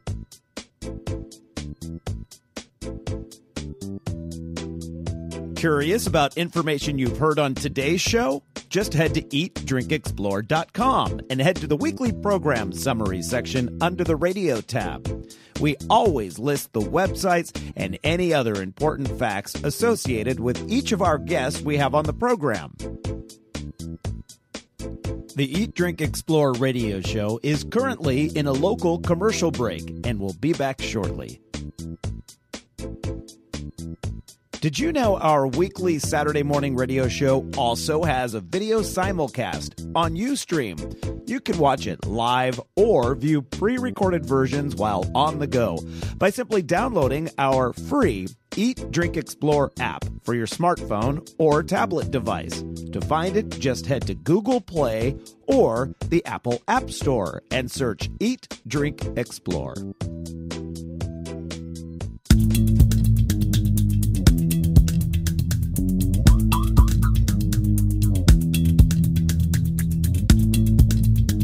Welcome back to the Eat, Drink, Explore radio network. Here now is your fabulous host, Mr. Randall White. And a happy, happy Saturday morning to you. As always, we're glad you could join us as we discuss all things food, wine, craft beer, travel, and tourism. Our compass word for this hour is picket. And if you're watching our video right now, I think I just heard our producer Nicole over here say, uh, oh no, it still says bubble from last week. Oh, but we got we switched it to picket. Good. Okay, so it does say picket, and if you're wondering what a compass word is, it's basically we use one word to find uh, something we can talk about that falls into the eat category, something for the drink category, and something for explore. And this segment happens to be explore. And if you head up I 5 into Oregon from California, and you pass Ashland and Medford, and I believe you even pass uh, Grants Pass, uh, you will find a place called the Pickett Butte Lookout. You know those uh, fire lookouts that are on the top of mountains that uh, are typically staffed with, uh, you know, someone from uh, the, well, I'm not sure who they staff them with, but we'll find that out in just a moment. anyway, they're looking for smoke on the horizon so that they can catch fires before they spread completely out of control. Donna Owens is the Tiller District Ranger for the Umpqua National Forest there in Oregon, and she's going to talk a bit about the Pickett Butte Lookout. You can book it and stay the night there. Uh, welcome, Donna. Thank you. Great to have you on the program. When I found this place, I thought, okay, that could be one of the most unique getaways uh, ever. Uh, is it sold out? Like, is it hard to find an open night to get this uh, place? Well, Pickett Butte is actually available all year long. So if you're brave and you want to go in the more of the off season, you'll you'll probably be able to get a reservation. Um, in the summertime, it's a little bit harder. I see. And I did notice we're showing a video that uh, someone from YouTube was nice enough to let us. Uh, use for the purposes of this uh, segment and i noticed that there's a heater in there so it is heated correct It is. It has. Um, it even has a refrigerator. Um, it's powered by propane, and um, there's some propane lights and uh, a refrigerator, a very small one, and a heater. and there's a, a single bed, right? But you could. It, is there space to put like a mattress on the floor, like an air mattress on the floor or something, so that more than one person could stay the night? Yeah, we actually uh, limit the uh, number of people to four, but it um, so one person can get the. There is a mattress that's um, when when we used it as a lookout, and we still do when we have um, you know like a big lightning storm or something. We'll actually go up and staff it if we can with our with our guests up there. Um, Why, why is the Why is the lookout currently not solely used for that? Do you have other ways to monitor the forest? Yeah, we've gotten um, we have air re- air reconnaissance. We also have um, in this county um, we have aerial detection cameras on some sites I which um, overlap, you know, kind of the view sheds. So um, we we we actually had it staffed last summer, and um, it's it's um, it's kind of one of those things that unfortunately um, we have other kind of technology that helps us detect fires. So Yeah. I say unfortunately because it's it's really part of our history. You know that we've we've always had these um, lookout Look- staff. These lookouts. And now I happened upon the Pickett Butte lookout because of our uh, compass word called Picket. So I was doing extensive Googling and I found it that way. But I assume there are many of these. Are there other ones there in Oregon where you can rent them the uh, for the night the way you would the Pickett Butte lookout? Yes, yes. We have another one on the Tiller Ranger District called Acker, A C K E R, Okay. which is also a oh man, that's a fabulous site. Um, it's the lookout itself. It, the cab is actually lodged in a rock, um, and uh, it's about a four tenths of a mile hike in. You can't drive to it; you have to hike in. Oh, and, I see. Uh, it's You- uh, you it's can drive to the- fabulous place. You can drive to the Pickett Butte one, but this other one you're mentioning, you have to hike to. Yeah, yeah. But Pickett you can walk to I mean drive to and then um it's you know you got to climb the climb up the cab which is it's a 40 foot tower. Um, I think I think my co-host Patty Pyburn might have a if my mic is question, and Anthony's going to slide up your uh, volume there. I, I'm sorry. I'm over here mouthing and using sign language to try to tell Randall. So I'm just curious because it's a, a Ranger lookout what the amenities are wireless internet, uh, TiVo, phone, satellite, Zero. radio. I'm just curious. you know, I didn't try when I was up there to see if my cell phone worked. In Tiller, where our ranger station is, we have no cell coverage, um, and we have um, satellite um, for our personal residences here. For um, people that work at the that live on the ranger station, we use um, satellite for our internet, for our personal internet. I see. So I did not try my cell phone, but I know at Acker Rock my cell phone works because I've actually made a call from there before. so this is a Um, place if you really want to be secluded, get away from it all, don't check your email. This is the place to go. Uh, yeah, yeah. You and like I say, you may get a signal. right. Maybe. Well, that, that's good for emergencies. You know, if you could, uh, Yeah. if you could at least have a signal. You won't get a data signal though if you want to like uh, use your smartphone. So um, we're speaking with Donna Owens. She is the Tiller District Ranger for the Umpqua National Forest there in Oregon, talking about the Pickett Butte Lookout, one of several lookouts through the Forest Service. And I I know there's at least one in California because I had seen it years ago and was thinking that I wanted to do it. Uh, so if you've never thought about renting a lookout for the night, uh, just by definition, it has a great view, right, Donna? Oh, fabulous! Yes, Yes, and uh, so it's is it? Do I have the information correct? It's still forty dollars a night. correct. Yes. Okay, so it's What forty a dollars. deal. that is a deal. So how do you sign up for this? Is it something where you uh, you give the ranger district a call, or you can do it online, or You can do it online. We have a reservation system. It's through, um, actually, it's a national reservation system for all uh, the Forest Service. is it Reserve America? Uh huh. Oh, okay. It's um, let's see, make sure www.recreation.gov. Okay, so that's nice and simple. And there, I imagine you can uh, sort them out and pick the lookout closest to you, or maybe farthest from you. I don't know. Right. Wherever- Yeah. depending on where you want to go. Farthest from your family. Now, in some cases, I imagine there are trails leaving directly from the lookout. There at the Pickett Butte Lookout, though, uh, you need to travel a distance, a short distance, to get to some of the trails in the national forest, right? You do. Um, the, there's a road that um, you can drive, like I said, right up to it, and then to access other trail opportunities, you'll probably have to come down uh, to the. There's certainly you can certainly self-explore from the from the lookout itself. Um, and I didn't mention also that the toilet facilities are an outhouse. So Okay. I figured it was probably something along those lines, right? so um, yeah, there's there is um, uh, the beautiful South Umpqua River is not very far away, and also Jackson Creek are two beautiful um, streams that. Um, it's really interesting. We're in the mode of salmon restoration here, and so there is no fishing along those stretches of the river. But if you come closer to Tiller, um, there is a stretch where you can fish, um, and there's a, a campground called Three C that has uh, uh, day use area where you can swim, and there's other swimming holes along the uh, along the river. Is that mostly snow melt water? Um, there's springs that also um, it's snow melt and springs. Okay, that that springs that feed the rivers as well, so uh, it's Yeah. not as not as cold as it might sound.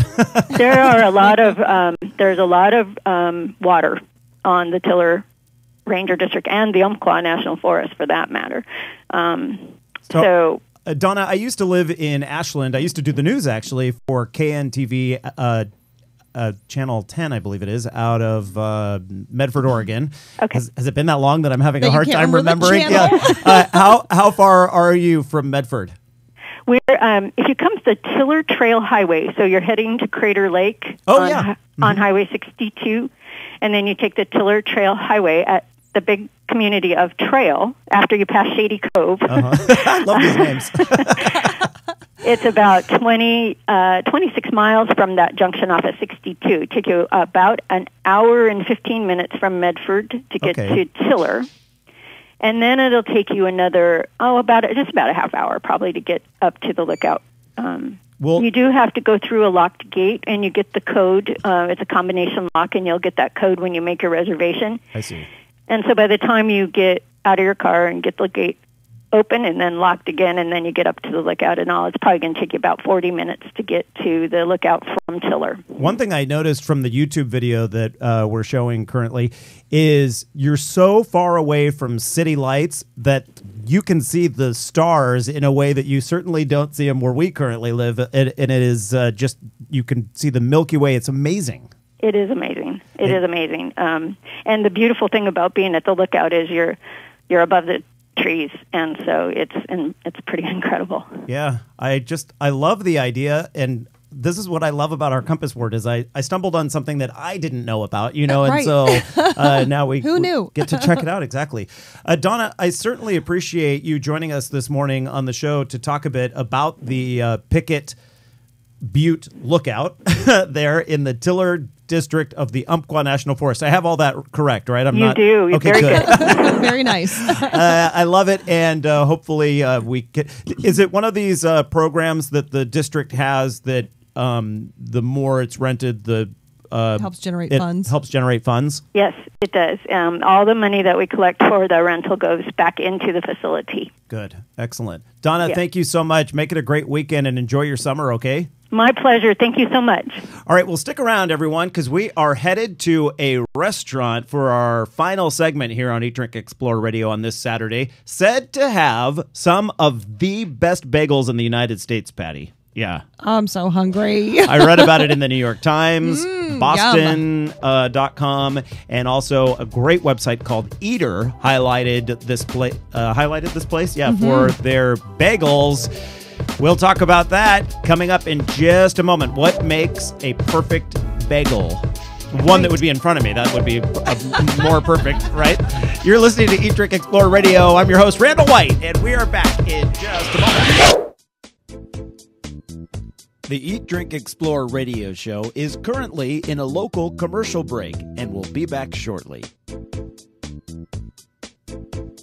Did you know our weekly Saturday morning radio show also has a video simulcast on Ustream? You can watch it live or view pre recorded versions while on the go by simply downloading our free Eat, Drink, Explore app for your smartphone or tablet device. To find it, just head to Google Play or the Apple App Store and search Eat, Drink, Explore. The Eat, Drink, Explore radio show is currently in a local commercial break. We will be back shortly. Get the latest audio, video, and breaking news from Eat, Drink, Explore Media by following us on Facebook, Twitter, and YouTube. We're easy to find. The URL extension for all of those sites is simply Eat, Drink, Explore.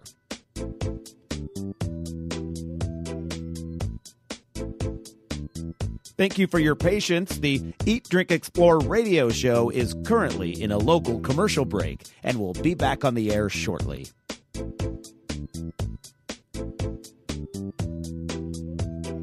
Curious about information you've heard on today's show? Just head to eatdrinkexplore.com and head to the weekly program summary section under the radio tab. We always list the websites and any other important facts associated with each of our guests we have on the program.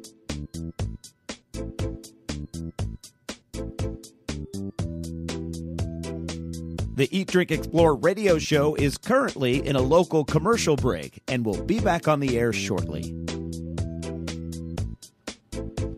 Thank you for being a regular listener to the Eat, Drink, Explore radio program. If you have any feedback for us, we'd love to hear it. Simply send a note to radio at eatdrinkexplore.com. The Eat, Drink, Explore radio show is currently in a local commercial break. We will be back shortly.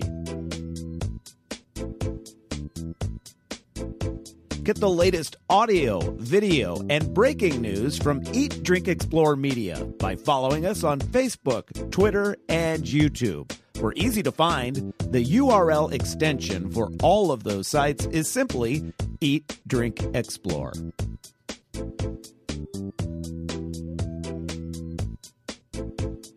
Thank you for your patience. The Eat, Drink, Explore radio show is currently in a local commercial break and will be back on the air shortly.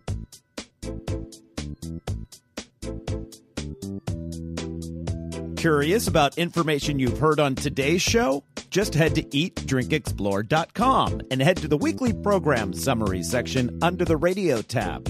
We always list the websites and any other important facts associated with each of our guests we have on the program.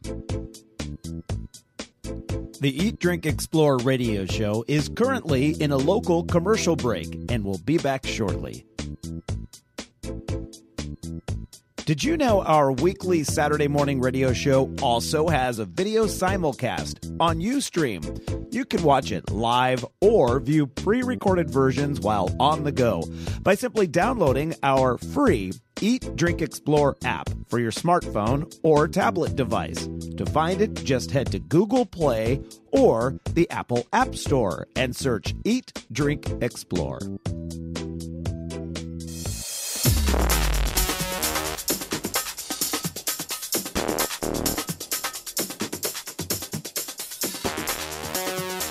Good morning, everyone. You are listening to Eat, Drink, Explore Radio on this fabulous Saturday morning. I'm your host, Randall White, joined by Patty Pyburn to my right here, who brings you the news at the top of each hour and also helps me get through some of these segments. and also happens to be starving right now. Starving and a bagel lover, which Mm-hmm. uh, brings us to our compass word for this final segment of the second hour picket. And I was telling you, Patty, at the beginning of the show that I had no problem with the first picket because that's how I came up with the compass word, and that's Rex Right. Pickett, who the author of the novel Sideways. And uh, he was a great guest, wasn't he? Oh yeah, full of information. What a great, great thing they have going on with that play and the wine tasting after. Yeah, the wine tasting underlined right there. Yeah. Uh, boy, it sounds like there's. It sounds like you have a full glass entire play. No wonder it's sold out. And then, uh, and then we just went up to Oregon for what I think would be one of the most unique My gosh. vacations to spend it in an old fire lookout. Right, Yeah. Pickett Butte Overlook. Well, then I tried to find a food category, you know, because we are eat, drink, explore. Right, yeah. And I was searching Pickett everything you can imagine. And I was almost thinking, am I going to have to change the word? You know? But no, then all of a sudden I stumbled upon an article in Eater. If you've ever been to eater.com, it's a great website. And uh, also one through the New York Times, both of them praising the bagels made at one cafe in South Portland, Maine, as being some of the best in the Northeast. And that says a lot because that- that's sort of the home of the bagel. That is saying something. That's right. So the founder of this place, it I love the name of this restaurant, 158 Pickett Street Cafe. That's the address and the name. it's one of those things everyone must know. exactly. Josh Potocki. He is the owner and founder of that place and now live on our show. Welcome, Josh. Thanks. Great to have you here. And uh, so most people would just assume, because you live there in the Northeast, that that's where you got your start making bagels. But Patty, I'm curious to know where you learned your, your craft. It- bagel making itself is an interesting thing. Yeah, it uh, it kind of it was a traveling thing. You know, I was I learned to bake bread in North Carolina, just a little bit of like loaf bread and stuff like that. Then I moved out to Big Sky, Montana, just to pretty much snowboard mostly. uh huh. The home then, of the uh, bagel. so I was there for yeah, Big seasons. Sky, right. What's that? Big Sky, Montana, the home of the bagel. Oh yeah, yeah. No, I was there for like four years. Then I moved down to Bozeman because I was going to go to take a trip to Peru, and I got a job just for like a month at this little cafe called the Sweet Pea Cafe. And uh, I went in there and got a job. It was like they- were making all this crazy stuff, like croissants and like these amazing bagels and all kinds of stuff. So the bagels there were just like this different bagel than I'd ever had. They were kind of like really chewy, super like holy, kind of sour. Mm-hmm. So basically, I, I was baking there. I ended up staying there for a year. I was going to go to Peru, and I realized that I had, there was too much knowledge there for me to pass up. So Yeah. I kind of apprenticed there and started baking and stuff like that.